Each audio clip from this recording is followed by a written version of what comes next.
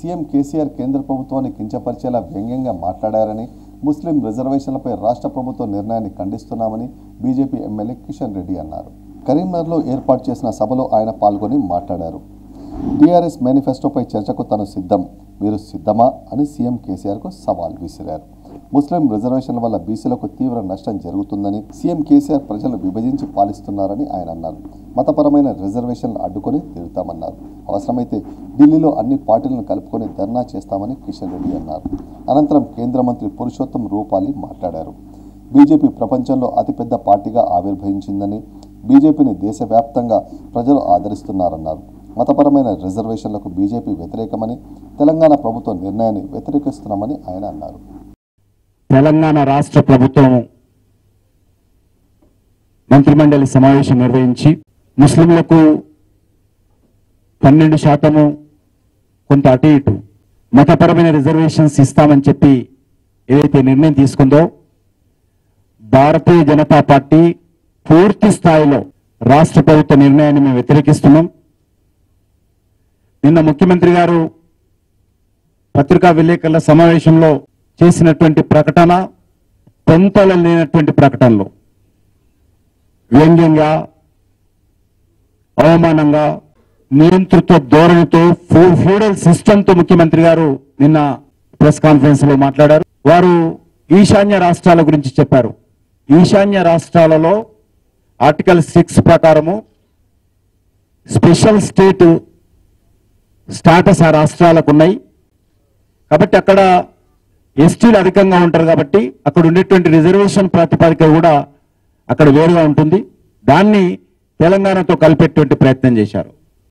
అని ఈరోజు భారతీయ జనతా పార్టీ కేంద్ర ప్రభుత్వం మీద నిన్న మొత్తం ప్రెస్ కాన్ఫరెన్స్లో కేంద్ర ప్రభుత్వం మీద పరోక్షంగా దాడి చేసే ప్రయత్నం చేశారు. ఆయననేమో ఎలక్షన్స్లో ఓట్ల కోసం హామీ ఇచ్చాడు. దాన్ని అమలు చేయాల్సింది కేంద్ర ప్రభుత్వం అట. ఏ ప్రభుత్వమైనా కేంద్ర ప్రభుత్వమైనా రాష్ట్ర ప్రభుత్వమైనా వాళ్ళకు ఒక పరిధి ఉంటుంది. ఏ రాష్ట్రానికి ఆ రాష్ట్రమో తమ ఇష్టం వచ్చిన నిర్ణయాలు తీసుకొని అమలు చేయాలన్నప్పుడు పార్లమెంట్ ఎందుకు రాష్ట్రపతి ఎందుకు కేంద్ర ప్రభుత్వం ఎందుకు? అన్ని రాష్ట్రాలకు స్వేచ్ఛ పెట్టుకొని అక్కడే పెట్టుకోవాలి.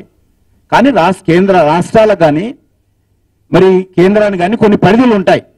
ఆ పరిధులను దాటి ఈరోజు రాష్ట్ర ప్రభుత్వము మతపరమైన రిజర్వేషన్స్ తీసుకొస్తా ఉన్నది. ముఖ్యంగా ఇది బీసీలకు అన్యాయం జరిగేటువంటి రిజర్వేషన్ ఇది. ముస్లింలను బీసీలో కలపడం ద్వారా.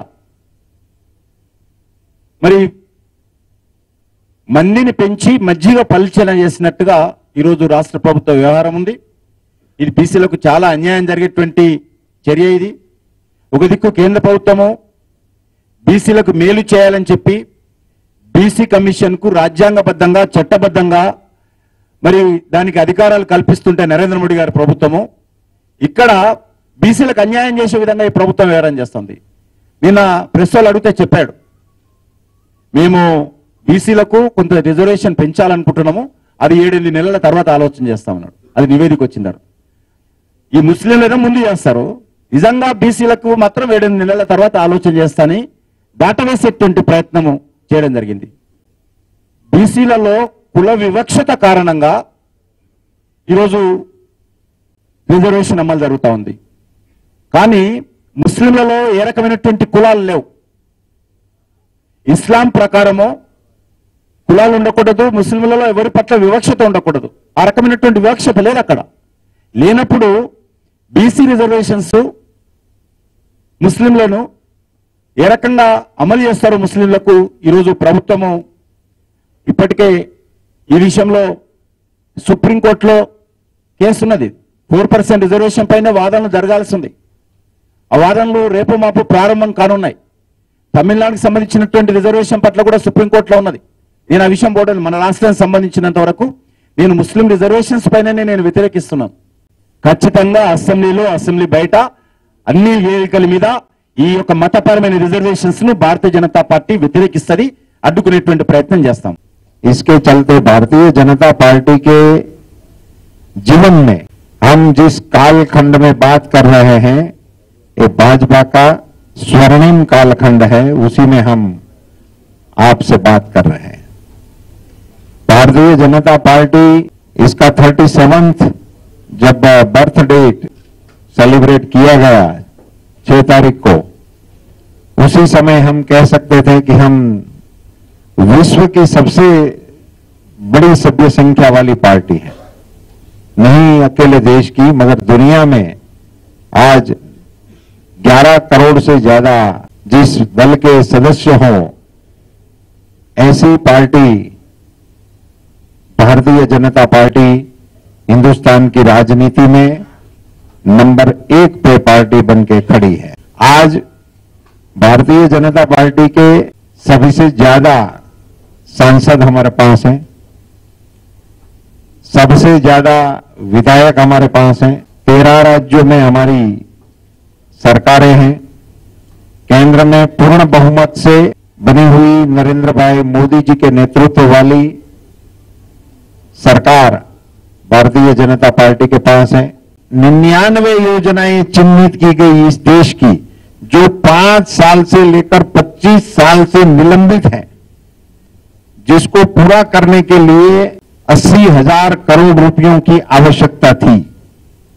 उनमें से पहली साल में 16-17 में बीस हज़ार करोड़ रुपया नाबार्ड के माध्यम से एक फंड अर्जित किया गया। उनमें से निन्यानवे में से 22 योजनाओं को प्रथम वर्ष में चिन्हित करके उसका काम शुरू कर दिया गया। 18 तक ये 22 योजनाओं का काम पूरा भी हो जाएगा। देखो क्रॉप क्रॉप इंश्योरेंस में आप पूछ ये रहे हैं कि, किसान कर तो रहा है मगर इनको इंश्योरेंस नहीं मिल रहा है। तो I will look into the matter जो क्यों नहीं मिल रहा है कि क्रॉप इंश्योरेंस के स्कीम के बारे में यदि कोई सवाल है यदि आपको ये जो अभी प्रधानमंत्री फ़सल बीमा योजना जो चल रही है इसके कोई प्रावधान की वजह से नहीं मिल रहा है या वजह क्या है वो जो हमारे ध्यान में आएगी? क्योंकि मैं आपको दो बातें बता देना चाहता हूँ कि ये सारी प्रधानमंत्री फ़सल बीमा योजना जो है, वो भारत सरकार की ओर से डिक्लेयर्ड है। मगर इसकी जो गाइडलाइंस है, उसमें राज्य सरकार इनकी बराबर की हिस्सेदार है। किसानों को मैंने अभी यहाँ जो मेरे पास, यहाँ आने के बाद मुझे जो जानकारी मिली तो उसमें मेरे ध्यान में एक चीज़ ये आई है कि इनको लोन मिलने में देरी हो रही है तो वहाँ से उनकी इंश्योरेंस की कट ऑफ़ डेट चली जाती है।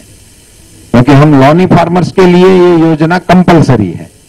नॉन लोनी फार्मर्स के लिए वो ऑप्शन है। वो लेना चाहे तो ले सकते हैं नहीं लेना चाहे तो नहीं ले सकते हैं। सो so, उसको लोन लेने में देरी होने की वजह से कई किसानों को इनका बेनिफिट नहीं मिल रहा है। इसको स्ट्रीमलाइन करने के लिए क्या उपाय किए जाए, वो हम देखेंगे। उसकी जानकारी भी हम लेंगे, इनका स्टॉक भी लेंगे। मगर यहाँ से यदि किसानों की ओर से या राज्य सरकार की ओर से इस योजना के संबंध में कोई भी सुझाव हमको मिलेगा या कोई भी शिकायत हमको मिलेगी तो इस पर हम ज़रूर से गौर करेंगे और किसानों को इनका बेनिफिट ज़्यादा से ज़्यादा मिले। इसके लिए जो कारगर कदम उठाने पड़ेंगे वो उठाएँगे।